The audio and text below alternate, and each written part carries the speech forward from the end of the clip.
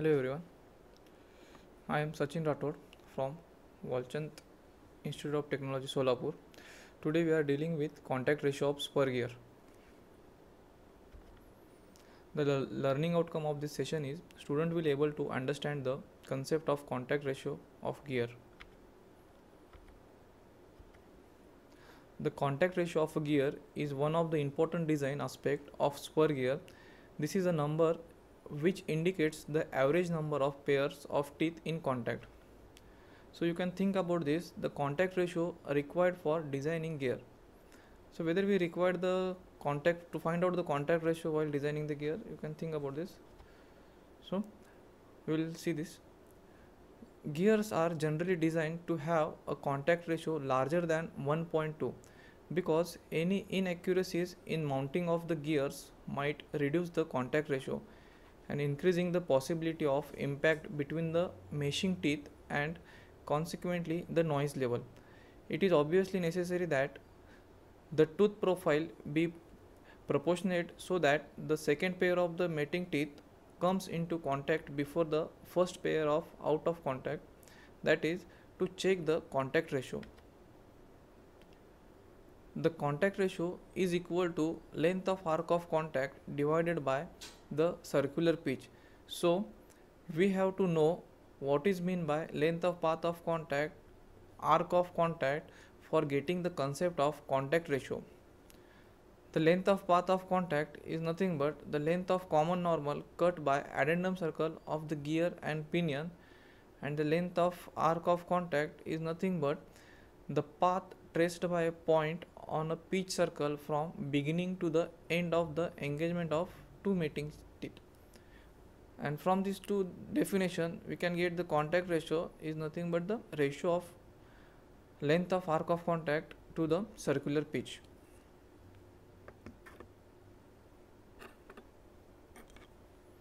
So we will see the concept of contact ratio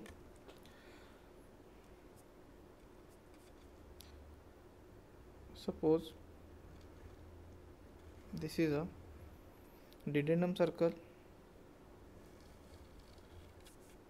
addendum circle and pitch circle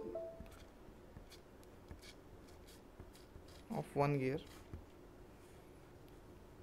This is gear numbers 1 we'll give name as a center as o1 similarly this is a gear number 2 having dedendum circle.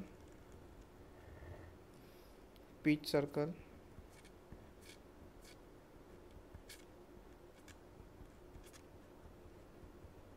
And addendum circle.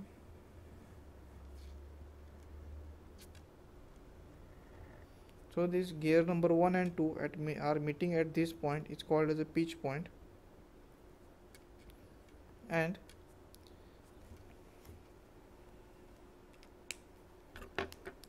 suppose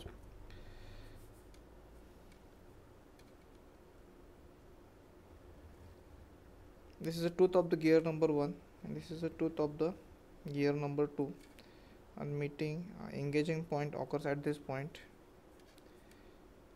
Similarly the teeth of the gear number 2 and gear number 1 the engagement of the gear tooth occurs at this point and disengagement occurs at this point so the contact ratio is nothing but the average pair of the teeth are remains in contact from this point to the this point. So we have to find out this contact ratio. If we draw the common tangent to the base circle that must should pass through the pitch point. This is the law of gearing already we have seen in previous lecture so this this is nothing but your the pitch point. And this is a we can give a name as a mn this is a if you join the axis of the two gear this is the axis of the two gear. It should be the perpendicular. And it should be the perpendicular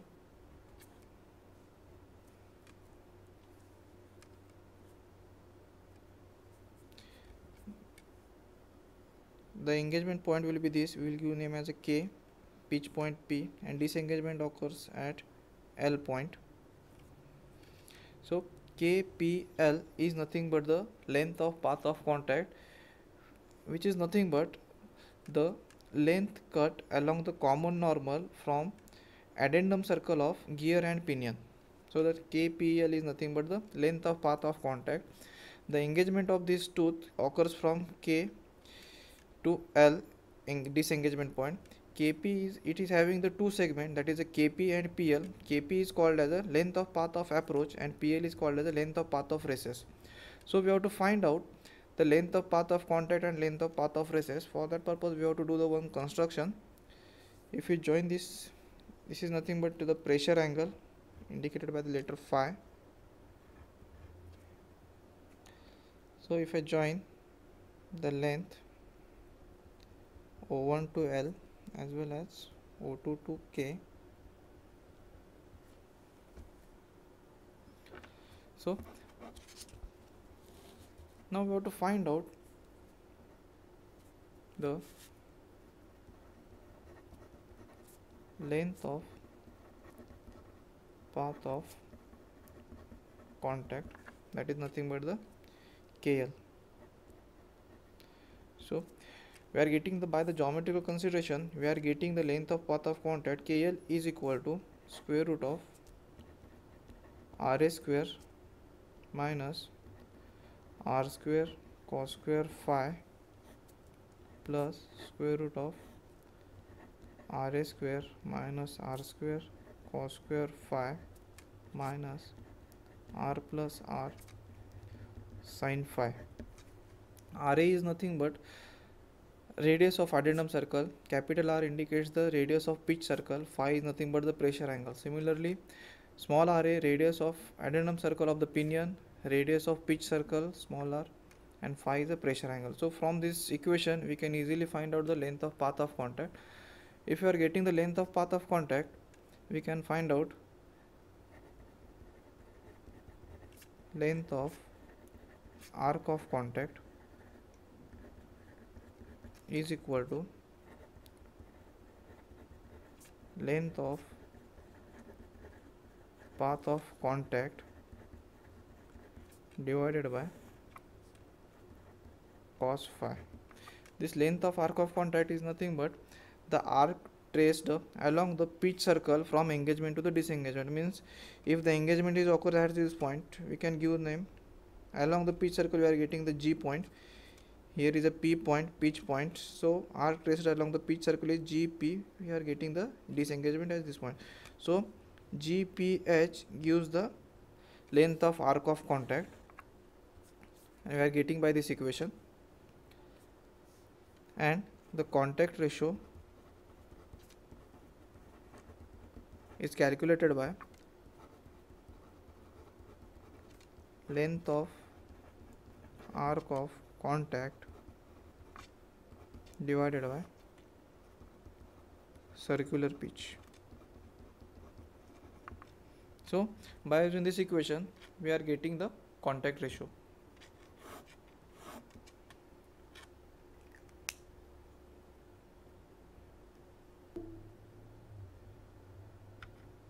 So I have taken these references. Thank you.